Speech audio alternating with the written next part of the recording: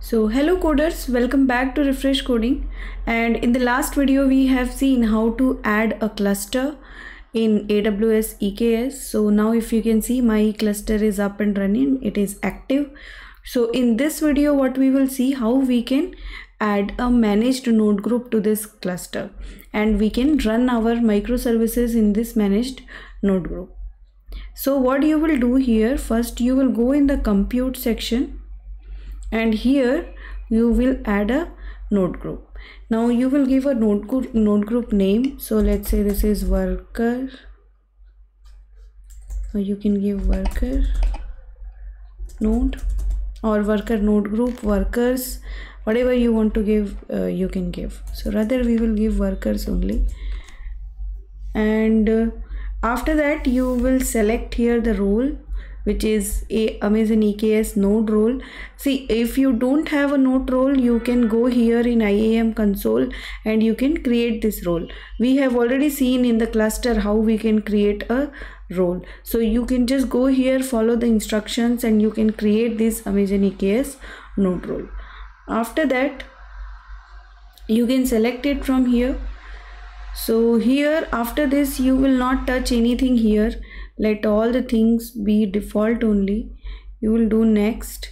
And here just uh, let it this AMI type also let it be Amazon Linux 2 this only. Capacity type on demand.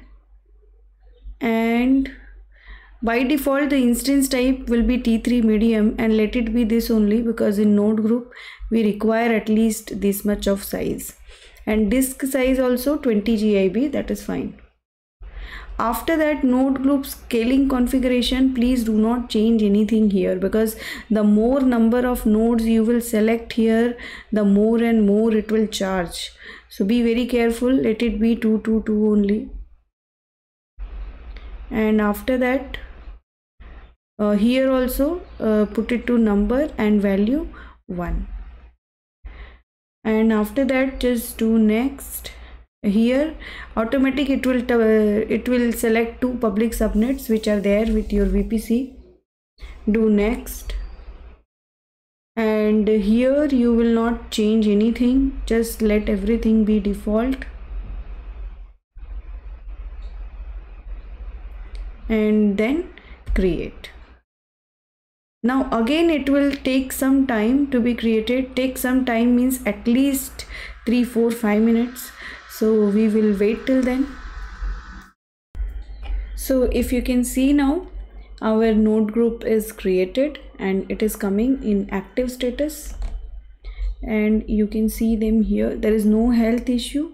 And if you'll go in nodes you can see them. They are created and they are ready.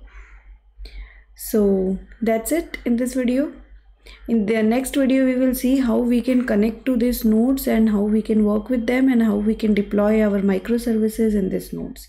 Thank you